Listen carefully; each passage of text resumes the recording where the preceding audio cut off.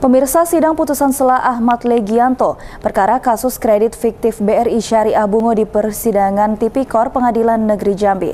Majelis Hakim memutuskan menolak seluruh keberatan terdakwa. Ahmad Legianto terdakwa kasus kredit fiktif BRI Syariah Bungo menjalani sidang putusan sela di persidangan Tipikor Pengadilan Negeri Jambi. Dalam persidangan, Majelis Hakim Pengadilan Tindak Pidana Korupsi Jambi menolak seluruh keberatan terdakwa. Majelis Hakim yang diketuai Korpioner dalam putusan setelah menyatakan keberatan terdakwa yang dibacakan penasihat hukum, pendapat penasihat hukum tidak bisa diterima karena sudah memenuhi syarat material di mana perbuatan terdakwa diduga bersalah.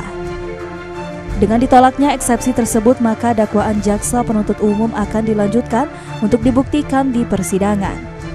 Sidang sebelumnya yakni tanggapan jaksa atau duplik terhadap keberatan penasihat hukum terdakwa atas dakwaan yang dibacakan beberapa waktu lalu.